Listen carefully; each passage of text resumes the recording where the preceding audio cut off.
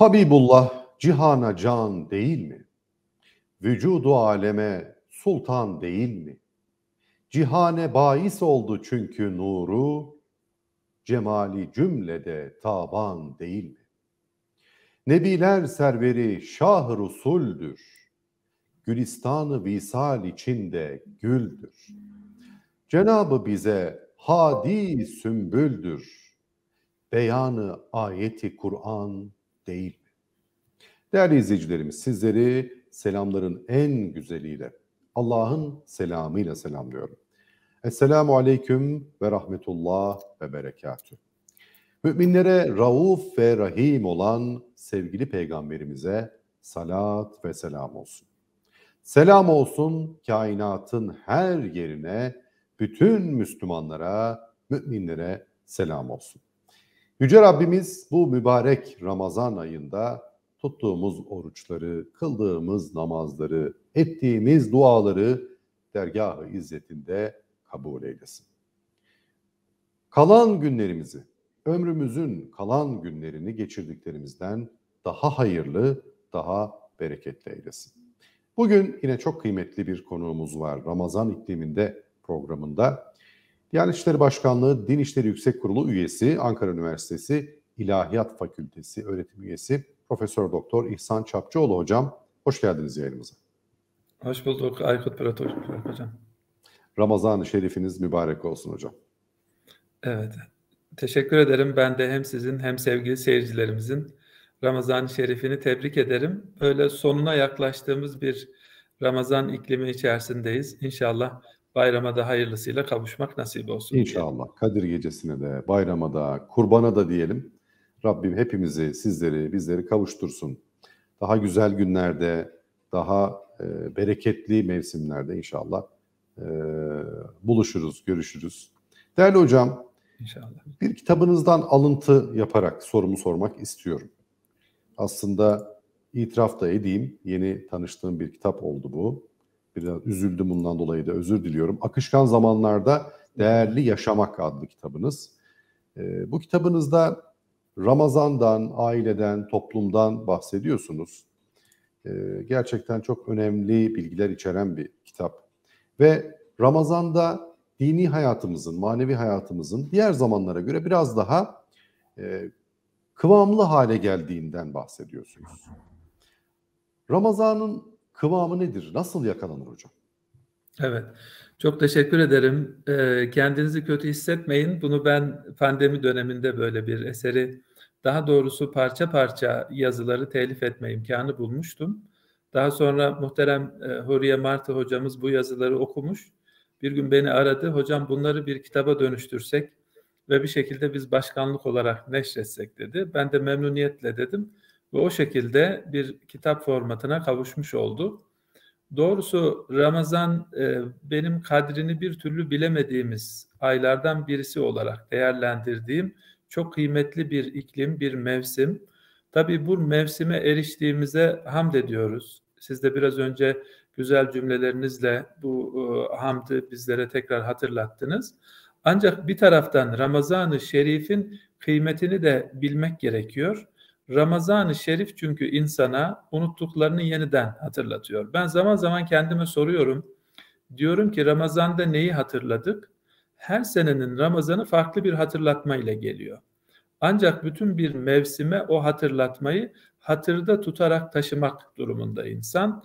Tabi sadece hatırlamak ve hatırlatmak değil, aynı zamanda hatırda tutmak üçüsü bir araya geldiğinde büyük ölçüde aslında Ramazan'ın bizde bırakmayı arzu ettiği, kazandırmayı hedeflediği bir takım değerlerle de hayatımızı buluşturmuş oluyoruz.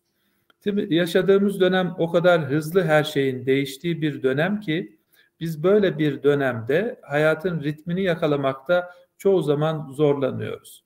Ve birbirimize hayat nasıl gidiyor, işler nasıl sorusunu sorduğumuzda çoğunlukla çok yoğun cevabını veriyoruz ya da alıyoruz. Ancak ben bir süredir böyle bir soruya muhatap olduğumda diyorum ki işler sıralı. Yani yoğunluk var ancak bir taraftan bir sıra bir takvim içerisinde devam ediyor. Çünkü insanın psikolojik olarak kendini iyi hissetmesi için işte iş yükü altında ezilmesi değil, onunla başa çıkmak için gayret etmesi gerekiyor. İşte Ramazan bize hem fizik hem de metafizik bağlantılarımızı yeniden hatırlatıyor ve yaşadığımız hayatın sadece yaşadığımız günden, haftadan, aydan, yıldan, bir ömürden ibaret olmadığını, sonsuza doğru bir yolculuk içerisinde olduğumuzu fark ettiriyor. Böyle olunca ilk gününden son gününe kadar gittikçe yükselen bir manevi kıvamımız var. Aslında son günlere yaklaştığımızda biliyorsunuz Ramazan-ı Şerif kendisi de zikir olan yani hatırlatma olan Kur'an-ı Azimüşşan'ın indirildiği aya e, tekabül ediyor. Tabii Kadir Gecesi daha özelde siz de hatırlattınız. Bu kıymetin, zamanın kıymetinin çok da özel takdir edildiği, kadrinin bilindiği, bilinmesi gereken bir ömre yayılan çok önemli bir zaman dilimini içerisinde barındırıyor. Bir taraftan e, kıvam yakalamak, bir şeyin demini alması, onun lezzetini tadabilmemizin de ön koşulunu oluşturuyor. Yani çayı demlediğinizde hemen içemiyorsunuz. Bir süre beklemeniz gerekiyor. Ramazan-ı Şerif'in de ilk günlerinde belki zorlanıyoruz. Ancak sona doğru yaklaştığımızda artık dini hayatımızın belli bir kıvama eriştiğini fark ediyoruz ve hayatın Ramazan ikliminin ritmini yakalamaya başlıyoruz. Tabii bu ritmin üç özelliği var. Bir tanesi başladığımız noktada bizi bırakmıyor, gittikçe yükseltiyor. İkincisi yakaladığımız ritmi mümkün olduğunca koruyacak bir takım pratikleri alışkanlığa dönüştürmemize imkan veriyor.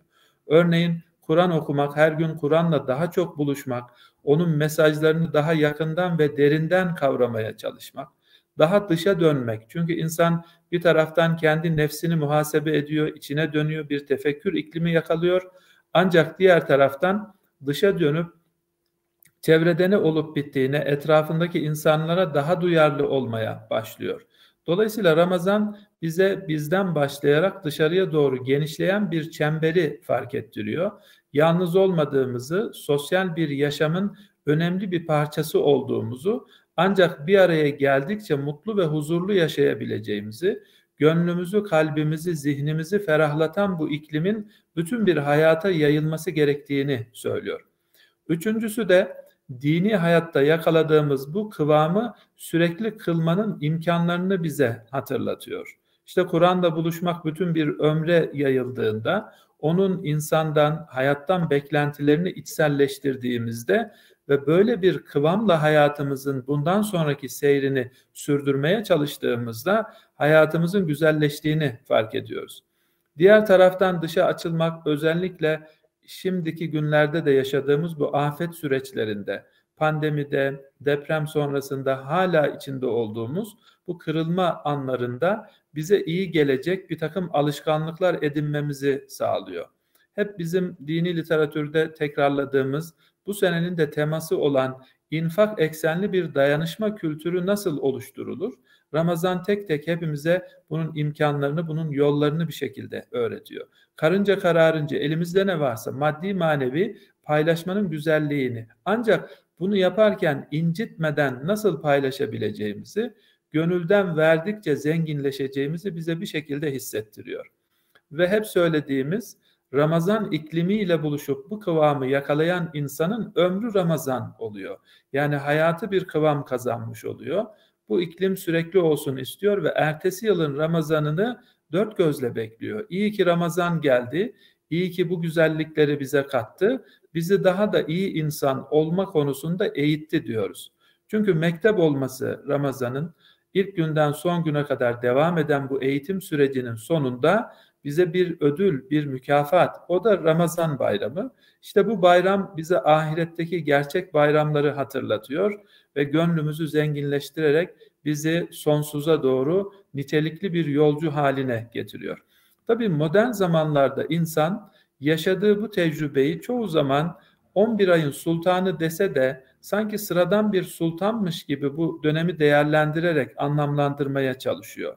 Oysa gittikçe tükettiğimiz, tükenirken bir taraftan tüketirken tükendiğimiz bu mevsimde kendimizin bilincine ne kadar çok erersek hayatla o kadar nitelikli bir bağ kurma imkanı buluyoruz. İşte Ramazan kıvamı gittikçe demlenen, hayata güzellik katan ve bizi yükselten ve yükseldiğimiz noktadan da geri dönmememiz gerektiğini, artık bu Ramazan benim için bir milat, yeniden namazla, yeniden Kur'an'la, yeniden yardımseverlik duygusuyla, paylaşım ahlakıyla buluştum. Dolayısıyla bu kıvamı bütün bir yıla ertesi Ramazan'a kavuşturmam gerekir gibi bir de ev ödevi veriyor. Yani bu ödevle hayatımızı sürdürdüğümüzde bir sonraki Ramazan'ı, ertesi yılın Ramazan'ı böyle heyecanla beklenen bir misafire dönüşüyor. Hanelerimizi onun için hazırlıyoruz. Gönüllerimizi ona daha çok açıyoruz. Zihnimizi onunla tazeliyoruz ve iyi ki Ramazan geldi. İnşallah ertesi yıla da tekrar bizleri Cenab-ı Hak kavuşturur diye dualar ediyoruz. Böyle bir mevsimin adı Ramazan ve bunu yakalamak için de belli bir kıvamı sürekli zihnimizde tefekkür etmek gerekiyor Aykut Hocam. Hocam çok güzel anlattınız hakikaten. Böyle her bir kelimesiyle hap gibi. Çok teşekkür ederim. Allah razı olsun. Ramazan-ı Şerif'te inşallah istifade eden kullardan oluruz. Bereketinden, e, feyz alan kullarından oluruz. Rabbimizin razı olduğu kullarından oluruz. Ve ömrümüzün kalanında da bu Ramazan iklimini, Ramazan kıvamını e, yaşayan, yaşatan çevresine de örnek kullardan oluruz inşallah. Müslümanlardan inşallah, oluruz. İnşallah. Duasıyla, yani, niyazıyla. Evet. Yayınımıza katıldığınız için çok teşekkür ediyorum hocam. İyi ki varsınız. Ben Allah de çok teşekkür ediyorum. Evet, Allah razı olsun. Sizden de iyi ki davet ettiniz ve böyle bir güzel Ramazan ikliminde bizleri kıymetli seyircilerimizle buluşturdunuz. Ben de şimdiden hem Ramazan'ın bu güzel kıvamından istifade edenlerden hem de bayrama erişip ömrümüzü Ramazan ve bayram kıvamında sürdürenlerden olmamızı tekrar niyaz ediyorum. Hepinizi Allah'a emanet ediyorum. Çok teşekkür ederiz. Değerli TDV Medya izleyicileri, Diyanet İşleri Başkanlığı Din İşleri Yüksek Kurulu üyesi ve aynı zamanda Ankara Üniversitesi İlahiyat Fakültesi öğretim üyesi Profesör Doktor İhsan Çapçıoğlu hocamız bizlerle birlikteydi. Yeni bir Ramazan ikliminde buluşmak üzere Allah'a emanet olunuz.